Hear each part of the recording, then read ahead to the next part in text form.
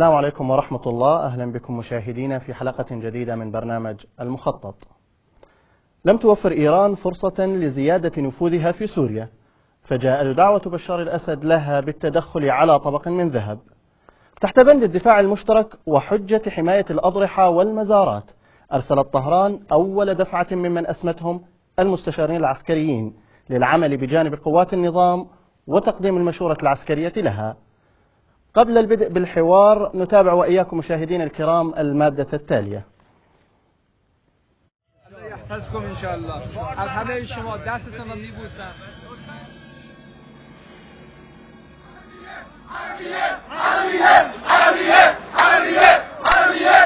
بعد انطلاق الثورة السورية عام 2011 وخروج المظاهرات في أرجاء البلاد لم يجد بشار الأسد سوى القوة طريقة للتعامل مع الوضع السوري الجديد فدفع بعناصر الأمن إلى الساحات والشوارع للتصدي للمحتجين وفي هذه الأثناء لجأ بشار إلى إيران حليفته الأولى في المنطقة بعدما واجه عزلة عربية ودولية فأرسلت طهران عددا ممن أطلقت عليهم اسم المستشارين العسكريين وذلك للمساعدة في تنظيم العمل العسكري وتقديم الدعم الاستشاري لجيش النظام وفق التصريحات المعلنة.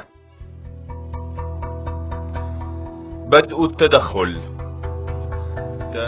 طلبت حكومة نظام الأسد من إيران التدخل بشكل مباشر في سوريا ومن خلال اتفاقيات التعاون المشترك الموقعة بين البلدين عام 2006 أرسل الحرس الثوري الإيراني مجموعة من الضباط والمستشارين إلى سوريا بهدف معلن هو توفير الدعم الاستشاري لقوات النظام. تاريخ التدخل. يعود تاريخ التدخل إلى الشهر الثاني من عام 2012 عندما أرسلت إيران وفدا عسكريا غير معلن آنذاك إلى دمشق. فيما بعد صرح القائد الأعلى للحرس الثوري الإيراني اللواء محمد علي جعفري في التاسع من شهر أيلول سبتمبر عام 2012 أن عناصر من فيلق القدس التابع للحرس الثوري موجودين في سوريا كمستشارين لقوات النظام. أهم الشخصيات التي عملت في سوريا. الجنرال حسن شاطري. المعروف بالمهندس حسام خوش نويس يعد مسؤولا عن المهمات بين سوريا ولبنان ويشرف على نقل عناصر الحرس الثوري من لبنان إلى سوريا. قتل في الثاني عشر من شهر شباط فبراير عام 2013 على يد مجهولين أثناء عودته إلى لبنان بعد انتهاء مهمة كلف بها في دمشق. ويعتبر شاطري من قدام المحاربين في إيران وشارك في الحرب الإيرانية العراقية. الجنرال عبد الله اسكندري قائد القوات البرية للحرس الثوري الإيراني في دمشق ومحيطها عمل على تأمين العاصمة دمشق وكان المقر الرئيس لقواته في منطقة السيدة زينب حيث قتل هناك بعد معارك مع الجيش السوري الحر في شهر أيار مايو عام 2014 أصفر شريدل من قادة القوات البرية للحرس الثوري في سوريا قتل مع مرافقيه الشقيقين ساجد وأخلاق حسين واللذين ينتمون إلى اللواء زينبيون وذلك في اشتباكات مع الجيش الحر في حلب شهر أيار مايو عام 2014 جبار دريساوي وهو أحد قادة جماعة حماة الضريح التابعة للحرس الثوري الإيراني. والمكلفة بالدفاع عن جميع الأضرحة الشيعية في المنطقة العربية. قتل في حلب شهر تشرين الأول أكتوبر عام 2014 محمد علي الله دادي. أرسل دادي إلى سوريا بمنصب المستشار الأول للجيش السوري وقوات الدفاع الوطني. عمل في دمشق والجنوب السوري. قتل بتاريخ الثامن عشر من شهر كانون الثاني يناير عام 2015 في القنيطرة بغارة جوية نفذتها مقاتلات إسرائيلية. ويعد دادي من كبار القادة المشرفين على عمليات الميليشيات التابعة لإيران وهو على علاقة وثيقة بحزب الله. حسين همدان مسؤول عسكري إيراني كبير من مؤسسي الحرس الثوري الإيراني وقائد فيلق محمد رسول الله. وبرر تواجده بوصفه عميدا في سوريا بتقديم الاستشارة العسكرية لنظام الأسد وصرح بأن بشار الأسد يقاتل نيابة عن إيران. شارك في الحرب الإيرانية العراقية وتولى منصب قائد حرس الثوري الإيراني عام 2005 قتل في سوريا في الشهر العاشر من عام 2015 عندما كان في جولة تفقدية لقوات الحرس الثوري الإيراني في حلب وتم تشييعه في ظهران بمشاركة كبار المسؤولين الإيرانيين. غلام حسين غيب برور. عمل غيب برور على تنظيم وتوزيع قوات الحرس الثوري والميليشيات التابعة لإيران في حلب. وكان من أوائل المرسلين إلى سوريا في كانون الأول ديسمبر عام 2016 تمت ترقيته ليصبح رئيسا لمنظمة قوات التعبئة ونائب القائد العام للحرس الثوري لشؤون قوات التعبئة وعاد للعمل في طهران. محمد رضا فلاح زاده يشغل منصب نائب قائد قوات الحرس الثوري في سوريا وهو قائد غرفة عمليات في جبهة دير الزور والبوكمال وأحد الأعضاء القدامى في قوات الحرس خلال الحرب الإيرانية العراقية. استمرار تدفق المستشارين والعسكريين. لم تتوقف إيران عن إرسال مستشاريها العسكريين إلى سوريا منذ عام 2012 ولا تزال أعداد المستشارين في سوريا مجهولة إلا أن مسؤول العلاقات العامة في الحرس الثوري العميد رمضان شريف قال عام 2015 إن بلاده سترفع عدد المستشارين الإيرانيين في سوريا لمواجهة من أسماهم الجماعات الإرهابية التكفيرية لتعود إيران مجددا وتؤكد في الشهر الأول من العام الحالي بأنها ستبقي أسلحتها ومستشاريها العسكريين هناك. أهلا بكم مشاهدينا من جديد نرحب وإياكم بضيفنا العقيد عبد الجبار العقيدي آه، قائد المجلس العسكري في مدينة حلب سابقا. أهلا بكم سيادة العقيد. حياكم الله. آه، في آه، عام 2013 واجهتم حزب الله في مدينة القصير على الحدود السورية اللبنانية. هل كان هناك تواجد إيراني في تلك المعركة؟ بسم الله الرحمن الرحيم. حقيقة يعني آه، إذا أردنا أن نتكلم عن التدخل الإيراني في سوريا فهو ليس بجديد آه، في الثورة فقط. التواجد الإيراني موجود آه، منذ زمن حافظ أسد في سوريا. أيضا في بداية الثورة بدأ التواجد الإيراني كمستشارين. وبدأوا يقدموا تجربتهم التي حصلت معهم في عام 2009 و2010 في إيران الانتفاضة التي حصلت وموضوع الجيش الإلكتروني الذي نقلوا هذه التجربة للنظام منذ بداية الثورة المباركة. آه، بالتأكيد في بداية 2013 منذ شباط آه، بدأ يشعر النظام الإيراني بأن النظام السوري آه، يتهاوى وعلى وشك السقوط وهناك حصلت مباحثات بين حزب الله والإيرانيين من أجل هذا الموضوع وهذا مذكور في مذكرات آه، حسين همذاني الجنرال الذي قتل في ريف حلب الجنوبي في العام 2015 فمنذ ذاك الوقت أرسلوا بأيار 2013 أرسلوا حوالي 4000 مقاتل من الحرس الثوري الإيراني آه، إلى آه، إلى سوريا للمشاركة آه، في معركة القصير التي كانت بالنسبة لهم مهمة جدا. القصير كانت القصير والزبداني يعتبروا حزب الله والإيرانيين مهمة لهم فكانوا مشاركين طبعا في هذه الحرب ولكن كانوا في الخطوط الخلفية كان في الخطوط الأمامية هو عناصر حزب الله. آه، بالحديث عن المستشارين الإيرانيين لا زالت إيران حتى اليوم تتمسك بتسمية مقاتليها في سوريا بالمستشارين العسكريين وتحجيم أعدادهم. ما هي الأسباب التي تجعل إيران تتمسك بهذا الوصف؟ يعني هو في البداية كانوا يقولون آه، بأنهم مستشارين عسكريين ولكن فيما بعد هم اعترفوا بأن الحرس الثوري موجود وهم يقاتلون إلى جانب بشار الأسد وهم آه، أصلا حتى ذكروا سوريا بأنها المحافظة الخامس والثلاثون لإيران. آه، فهذه بالبداية كانت حتى لا يكون أن هناك تدخل إيراني ونقل قوات إيرانية إلى سوريا للمشاركة في هذه الحرب. ولكن فيما بعد أصبح كل الأمور واضحة والآن معروفة للجميع ومعروفة للدول وإسرائيل كل آه، فترة بين الفينة والأخرى يقصفون هذه القوات الموجودة في سوريا.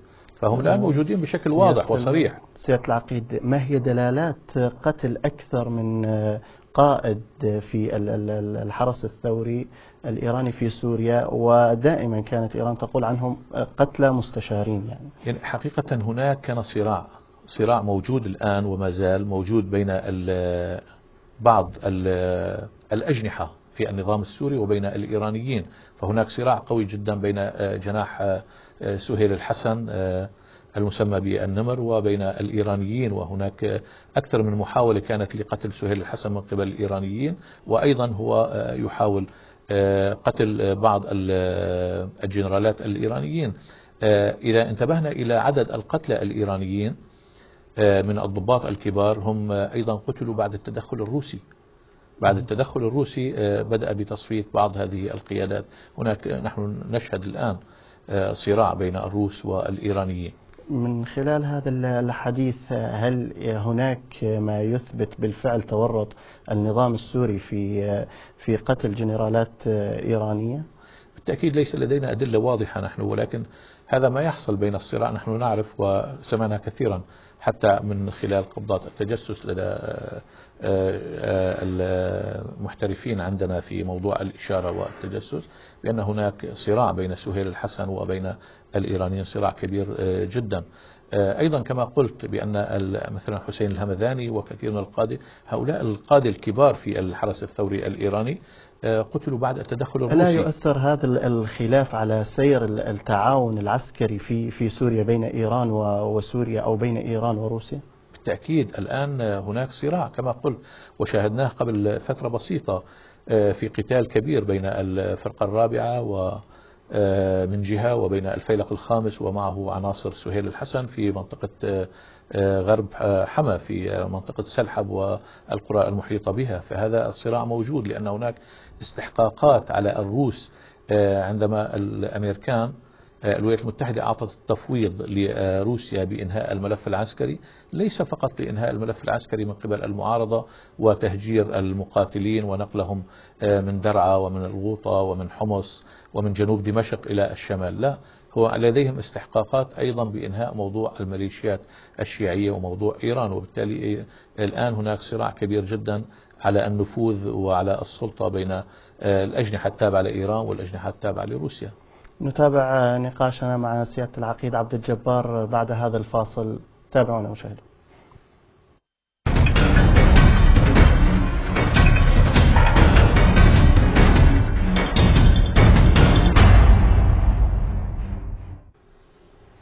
أهلا بكم مشاهدينا من جديد. أهلا بك سيادة العقيد مرة أخرى. يعني بالحديث عن المستشارين العسكريين الذين تواجدوا في سوريا ما هو الدور الأساسي الذي لعبه المستشارون هناك؟ يعني آه، لعبوا أدوار كثيرة في آه، سوريا منذ البداية كدعم معنوي ودعم لهذا النظام وأيضا الدعم اللوجستي وأشرفوا على نقل السلاح والذخيرة والعتاد لهذا النظام أشرفوا على الحرب الإلكترونية أيضا ونقلوا تجربتهم آه، التي آه، حصلت في إيران 2009-2010 من قمع الحراك الثوري في إيران. نقلوا هذه التجربة نقلوا تجربة آه، الجيش الإلكتروني لتعقب المعارضين على يعني على شاكلة الجيش السايبري في إيران. كل هذه الأمور نقلوها بالإضافة إلى الخبرات العسكرية التي لديهم. هم طلبوا من الأسد أن يتدخلوا آه، لنقل هذه التجربة لنقل تجربتهم القديمة أيضا في حرب العراق آه، والإيران في الثمانينات. كل هذه بأنهم سينقلون هذه التجارب آه، العسكرية للنظام.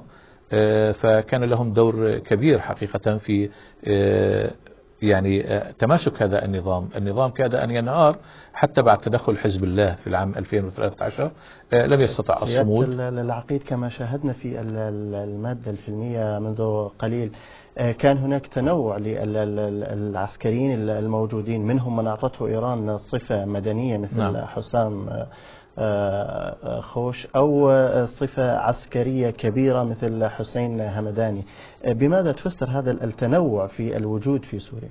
يعني هم أرسلوا حقيقة من كافة الأجهزة لديهم أرسلوا من أجهزة المخابرات أرسلوا من من الحرس الثوري الإيراني من قوات الباسيج يعني عندما دخلت القصير حزب الله والنظام كان هناك آه، حوالي 4000 مقاتل من قوات الباسيج. فبالتالي هم عملوا هذا التنوع ليأتوا بكل الخبرات الموجودة لديهم. التأكد من من وجود عناصر إيرانية كانت تقاتل في القصير وكيف توصلتم إلى هذا العدد؟ آه، نحن كنا نتنصت على القبضات أكثر القبضات وأكثر الاتصالات كانت باللغة الفارسية وليست باللغة العربية. بالتأكيد حزب الله لن يتكلم باللغة الفارسية وعناصر النظام لن يتكلموا باللغة الفارسية. هل كان لها طابع آه، يعني آه، آه، من معروف أو يعرف به الحرس الثوري أو أو القوات الإيرانية هناك أم أن هناك يعني طابع آخر للمعارك في تلك نعم كانت كانت المعركة حقيقه هي سياسة الأرض المحروقة. يعني كانت حرب كل شيء قتل كل شيء في هذه المدينة وكان هناك أكثر من 7500 من المدنيين موجودين أيضا ومحاصرين وبالتالي آه، يتبع هذا النظام الضغط من خلال المدنيين وقصف المدنيين آه، وقتلهم. فهذه هذه كانت سياسة جديدة موضوع استخدام صواريخ الفيل كانت أيضا تستخدم آه، يعني آه، ربما لأول مرة في آه، مدينة القصير وكانت مدمرة جدا تنسف البناء بالكامل وبالتالي لا يكون هناك مجال للاختباء للمدنيين أو حتى للتمترس كان هناك العسكري تواصل بشكل مباشر أو غير مباشر سواء عسكريا أو, أو غير عسكريا مع المستشارين الإيرانيين في سوريا؟ لا على الأطلاق أبدا. لم يكن هناك أي تواصل مع المستشارين الإيرانيين. لماذا لم يكن هناك تواصل؟ هل هو بسبب موقف الثورة أم أن هناك أشياء أخرى؟ بالتأكيد هي حرب. هم هم وقفوا إلى جانب النظام وبدأوا بقتل الشعب السوري. كيف يكون لنا؟ تواصل مع هذا العدو. هم يعني أكبر عدو كان لنا في المنطقة بعد هذا النظام المجرم. هم قدموا كل شيء لهذا النظام من أجل قتلنا. آه، في البداية كمستشارين والمستشارين أيضا آه، هنا سأذكر 48 مستشار الذين قبض عليهم الجيش الحر آه، في 2012 أيضا في حلب في أعزاز 11 إيرانيا ومنهم أقرباء لحسن نصر الله. كانوا كلهم مستشارين واستخبارات. فهذا النظام حقيقة الأسرى الذين قبض عليهم الجيش الحر وصفتهم بالمستشارين. أين هم الآن؟ ماذا حدث معهم بعد أن أرقل الجيش الحر القبض حدثت آه، صفقة حقيقة. هو فيلق الرحمن الذي قبض عليهم في الغوطة آه، حصل صفقة تبادل آه، على معتقلين من آه، المدنيين الذين اعتقلهم النظام. حسب علمك هل تابع هؤلاء عملهم في سوريا أم عادوا إلى إيران؟ أم ماذا حصل؟ ليس لدي معلومات دقيقة عن هذا الموضوع آه، ولكن العدد المستشارين الذين أرسلتهم إيران إلى سوريا ربما كبير جدا وبالتالي لا حاجة لهؤلاء ربما بعد أن اعتقلوا لفترة طويلة. في الفترة الماضية آه، صرح آه، جعفري قائد الحرس الثوري الإيراني بأن إيران ستزيد ستزيد من من عدد عناصرها ومن مستشاريها في سوريا.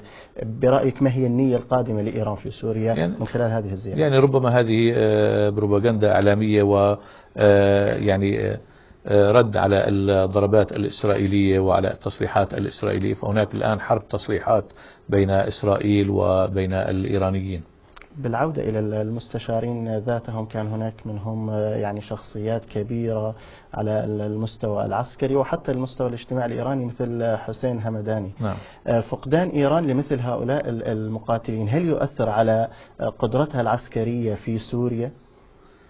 بالتأكيد آه، حقيقة إيران خسرت آه، يعني آه، عشرات الضباط برتب عالية جدا ومستشارين كما ذكرت كحسين همذاني الذي كان له دور كبير ومهم جدا ليس فقط في سوريا في سوريا وفي لبنان وفي اليمن أيضا هو عراب في العراق أيضا. آه، هو لديه دور كبير وبالتالي هذا بالتأكيد يؤثر ولكن آه، إيران دولة كبيرة ليست صغيرة ولديها آه، عشرات الآلاف ربما من هؤلاء المستشارين. فهي مصممة على البقاء في سوريا ومساندة هذا النظام لأنها تعتبر سقوط هذا النظام يعني سقوط حزب الله وبالتالي نهاية نفوذها في هذه المنطقة فلا يهم عندها مهما خسرت من هؤلاء المستشارين. هل ترى أن إيران سوف تتوقف عن عن إرسال مزيد من المستشارين العسكريين والإكتفاء فقط بإرسال المقاتلين إلى سوريا في الفترة المقبلة. أه، ربما أه، الآن هي لديها ميليشيات عشرات الميليشيات من زينبيون وفاطميون وهذه الأسماء الكثيرة وأبو الفضل العباس وغيره. أه، والآن أنت تعلم بأن هناك حصار اقتصادي كبير على الإيران وهناك أيضا يعني تحالفات دولية من أجل طرد إيران من آه، سوريا وبالتالي هي آه، شاهدنا قبل أيام هناك إعادة تموضع إظهار بأنهم ينسحبون من محيط دمشق الدولي وسينتقلون إلى مطار التيفور ومن هذه الحركات. تفسر تموضع؟ هذه الحركات العسكرية؟ كونك رجل عسكري آه، تفيد أكثر في إعادة التموضع ربما تعطيك رؤية أخرى باتجاه الانتشار ال- الإيراني في سوريا. هي محاولة لتجنب الضربات الإسرائيلية. وإخفاء آه، تواجدها في هذه المناطق. هي طبعا لم تنسحب من محيط دمشق الدولي وأيضا هناك ضغط روسي من أجل آه، يعني إخلاء هذه الأماكن آه، لإتاحة الملاحة المدنية للمطار كون الآن تستخدمه للأغراض العسكرية إيران. فبالتالي هذه الضغوطات الأمريكية الضغوطات ال- الإسرائيلية الضغوطات الروسية أيضا لإخفاء تواجد الإيراني بأنها انسحبت من آه، محيط دمشق آه، انسحبت إلى 80 كيلومتر عن الحدود الإسرائيلية. كون هذه كانت ضمن صفقات بين الروس والإسرائيليين وبين أيضا الروس والأمريكان. فبالتالي هذه آه، يعني كل هذه الحركات لإخفاء تموضع هذه القوات. آه، كيف استطاعت إيران أن تملأ هذا هذه ال- المساحة الجغرافية الكبيرة من من حلب إلى درعا إلى الحدود السورية العراقية إلى دمشق؟ هي لديها عشرات الآلاف من المقاتلين. لديها ربما أكثر من مئة ألف مقاتل من هذه الميليشيات الطائفية. لديها أيضا من الذين هجروهم من الذين خرجوا من كفرية والفوعة الآن هي وطنتهم في حلب. الناس خرجت من أيضا من نبل والزهراء بعد فتح الطريق. فلديها قوات كثيرة سيطرت الآن هي موجودة قواتها موجودة في الغوطة موجودة الآن في درعا دخلت اللجات. هي قريبة من الحدود الإسرائيلية الإ- الأردنية. لدي لديها ميليشيات آه، أعداد هائلة جدا. مع ذلك مؤخرا صرح قاسم سليماني قائد فيلق القدس التابع للحرس الثوري الإيراني أن هناك مقاتلين سيدخلون إلى سوريا. يعني آه، أعداد المقاتلين آه، الموجودين في سوريا وزيادتهم آه، هل هناك نية للبقاء فترة أطول في سوريا أو أن هناك مشاريع أخرى ربما لإيران أو في في في محيط سوريا؟ يعني كما قلت لك هي بالأصل هذه حرب تصريحات. حرب تصريحات بأنهم موجودون وهم قادرون وطبعا لا أتوقع أن يستطيعوا أن يزيدوا لأن الآن إيران تنهار اقتصاديا نتيجة الحصار آه، ليس بإمكانها أصلا إعطاء رواتب. الآن كثير من المقاتلين الذين يتبعون للميليشيات لولا اعتمادهم على التعفيش وعلى السرقة وعلى الأتوات آه، الإيرانيين لم يعودوا يستطيع إعطائهم هذه الرواتب وهذه المستحقات. وجود المستشارين ربما كان لتنظيم العمل العسكري لكن شاهدنا حالات مثل ما ذكرت التعفيش أو غيرها في سوريا. هل كان هناك سماح من قبلهم أم أنهم مختصون فقط في الجانب العسكري. بالتأكيد هم هذه سياستهم أصلا. هناك كثير من العناصر هم لا يستطيعوا إعطائهم المستحقات والرواتب وبالتالي اعتمادهم على المسروقات اعتمادهم على ال- التعفيش اعتمادهم على الأتاوات التي يأخذونها عمليات الخطف التي تحصل وكل هذا آه، هو للمساعدة. الآن آه، شاهدنا هناك سوق كامل سوق التعفيش يعني يدر عليهم مئات الملايين من الدولارات من خلال هذه المسروقات. سرقوا حلب بالكامل سرقوا الغوطة بالكامل سرقوا درعا بالكامل. هم يسرقون دمشق ويسيطرون على دمشق وحواجزهم ضمن دمشق لفرض الأتوات على الناس. فكل هذه موارد مالية كبيرة جدا عداك عن موضوع الاستثمار والفوسفات وغيره آه، الذي آه، يقبضون منه ملايين الدولارات. تعاملهم مع داعش من قبل الذين هم بالأصل أسسوها ودعموها والبترول الذين حصلوا كيف- عليه. كيف تستطيع إثبات هذا الأمر أنهم لهم يد في تأسيس داعش أو أنهم يدعمونها يعني من داعش؟ داعش التي أخرجها النظام. قادة الذين أخرجهم النظام من صيدنايا الذي أخرجهم النظام آه، نظام المالكي آه، من أبو من سجن أبو غريب والآن آه، استلمهم مرة أخرى ربما ليعيدهم في مكان آخر. كل هذا دليل على أن آه، هم وراءه كثير من القادة القادة داعش الذين آه، قتلوا في سوريا أو تم القبض عليهم هم من شيعة إيران. العقيد هل كان هناك دور للمستشارين العسكريين في في تحركات تنظيم الدولة أو فصائل أخرى؟ بالتأكيد.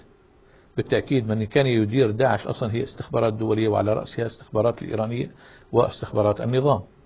هل ستبقى إيران لمدى أطول حتى لو أن بشار الأسد رحل؟ هي تخطط لذلك ولكن لن تبقى بإذن الله. هي تخطط لبقاء طويل الأمد آه، في سوريا لحماية مصالحها لحماية حزب الله آه، للوصول إلى المتوسط. ولكن آه، بالتأكيد أرض سوريا تلفظ كل الأعداء وترفض كل الغرباء ولن آه، يستطيعوا البقاء في سوريا. أشكرك سيادة العقيد عبد الجبار العقيدي قائد المجلس العسكري في مدينة حلب سابقا. كل الشكر لكم مشاهدينا الكرام. انتظرونا في الحلقة المقبلة الأسبوع المقبل من برنامج المخطط. دمتم بود.